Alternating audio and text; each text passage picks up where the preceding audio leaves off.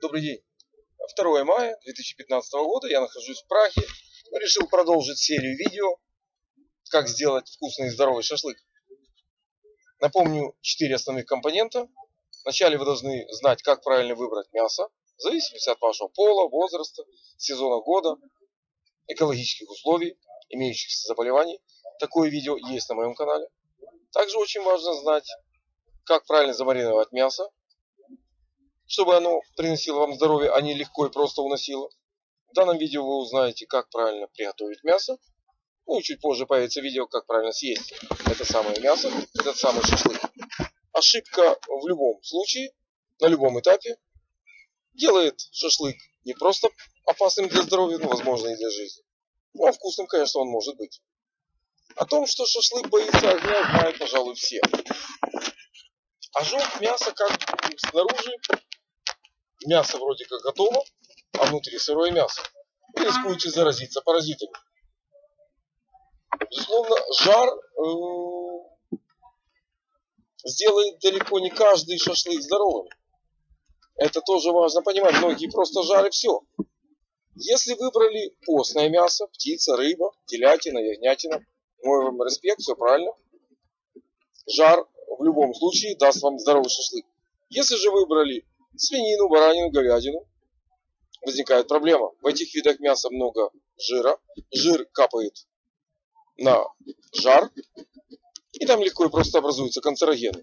Единственный способ сделать ваш шашлык все еще здоровым, это ветер.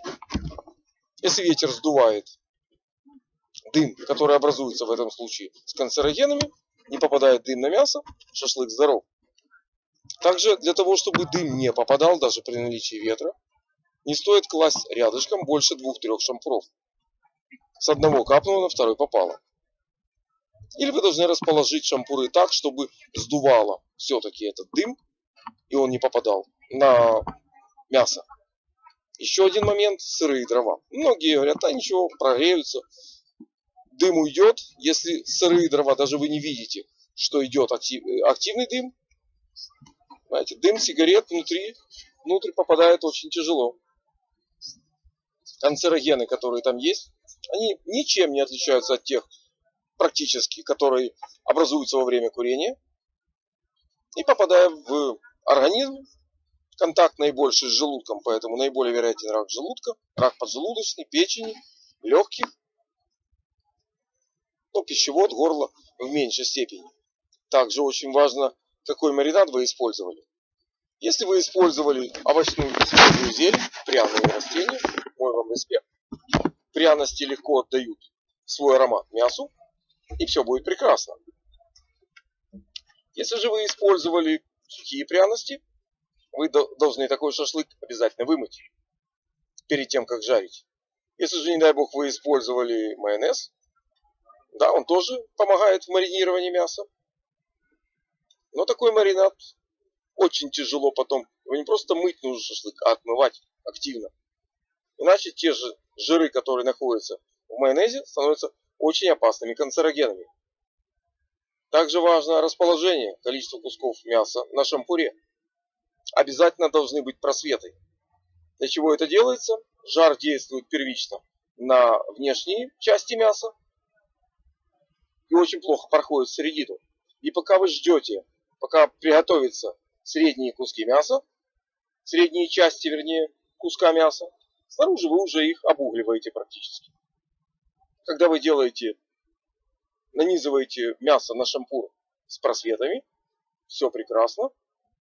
Э, металл, прогреваясь, он хорошо разогревает ваш шашлык и готовит его изнутри.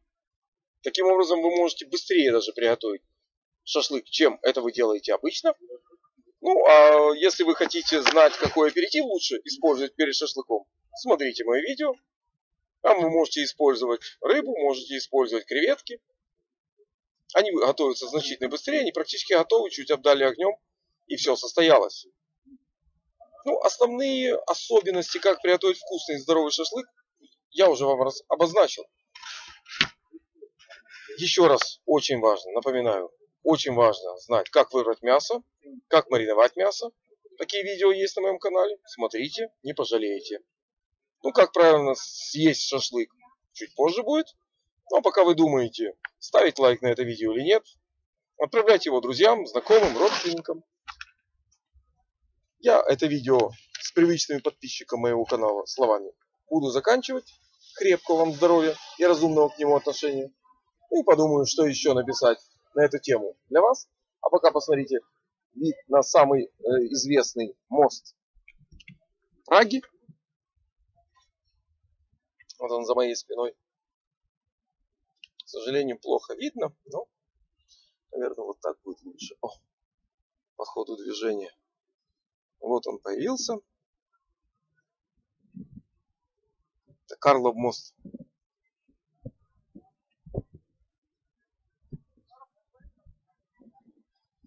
Вот такой он вид Прага.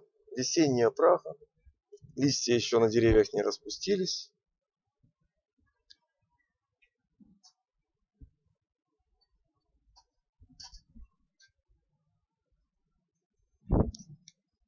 Вот такая она красота. И чтобы видеть такую красоту, нужно, безусловно, иметь здоровье. Ну, а здоровье, здоровье силы. Здоровье вы приобретаете с едой, силы там же. Важно еду готовить правильно, безопасно для здоровья, чтобы хватило жизни. И Прагу посмотреть, и другие города.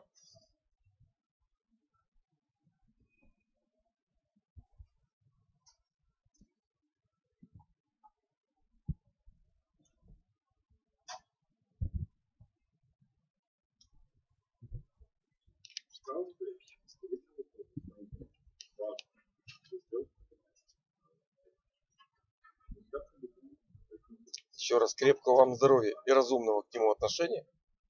И до новых встреч на моем канале.